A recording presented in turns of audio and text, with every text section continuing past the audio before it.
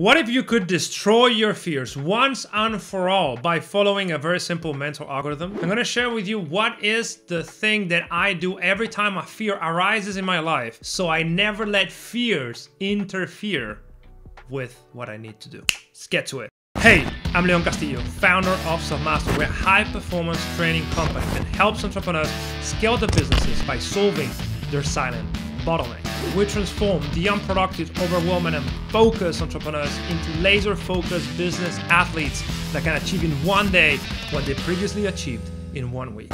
Before we get into the video, remember to subscribe and hit the bell so not only you don't miss any of the juicy videos that we share every week, but you also get a notification once we release the programs and courses on productivity and performance that we're giving away for free to our subscribers. So don't miss out on that. So today I want to talk about fear, which is something that is prevalent among entrepreneurs. There's a thousand different shades of fear that you can experiment when you are building a business. Fear of failure, fear of success, fear of change, fear of pitching to investors, fear to pitching to clients, fear of selling.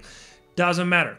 There's a thousand different shades of fear that you could experience at any given moment in your entrepreneurial career.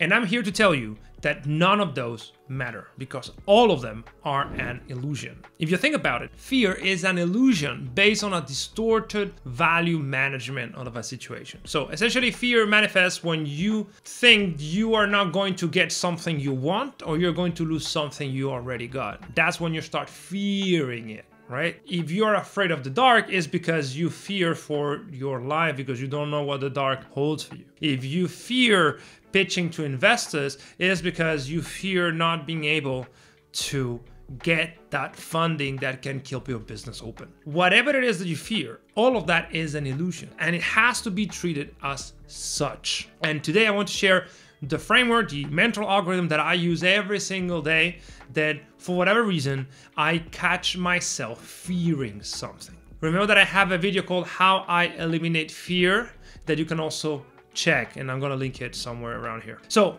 the first thing you need to do is understand what is the fear about? Where does it come from? Why does it manifest? Is it a fear of success, a fear of failure, fear of public speaking, fear of selling? What is it? If you do not understand why are you afraid of, you cannot destroy that fear. So the first thing is to be super mindful about it. What is it? And once you have that, you need to identify what is the situation that needs to be managed here. If you have a fear of public speaking, what needs to be managed is your ability to deliver a speech.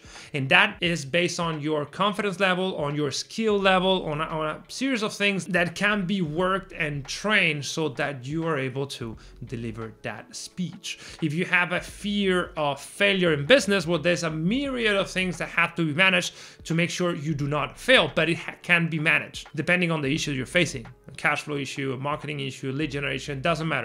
Whatever it is that is causing you the fear, there's a situation that can be managed in order to eliminate the root cause of that fear. Three, and this is very important, suffocate them. You do not really eliminate fear, you suffocate it. And you do so by doing things.